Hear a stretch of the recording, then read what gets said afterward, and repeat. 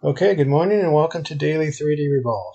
Today we're going to be creating a small Allen wrench in uh, Design Sparks Mechanical. Okay, we're going to go ahead and create a new design. We're going to change the orientation to plane. We're going to grab the line tool. We're going to create a line that's 3.5 inches long by 1 inch go ahead and select to click off the line. We're going to round this corner here, so go ahead and grab the round corner tool. Going to click there, click there.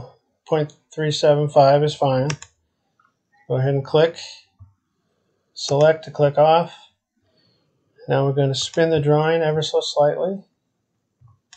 We're going to change the mode and we're going to go down here to this mode here. We're going to select just the point.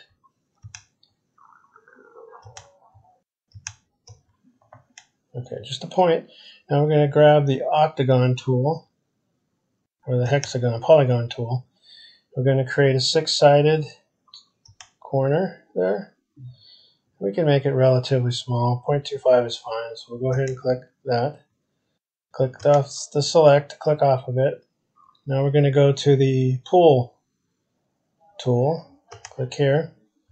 Now we're going to select a polygon.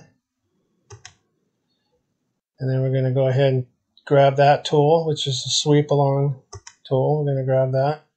We're going to double click on the line to get all the line. We're going to hit this arrow key. And then now you've created your little Allen wrench. This would probably be a good little tool you could print if you had a 3D metal printing tool or a metal printer. This is obviously not going to work as a plastic part because more likely it would break. But, um, okay, so go back to top view. There is your small 3D Allen wrench created in Design Sparks Mechanical. Okay, once again, I thank you for uh, watching and hopefully you found something useful out of this video.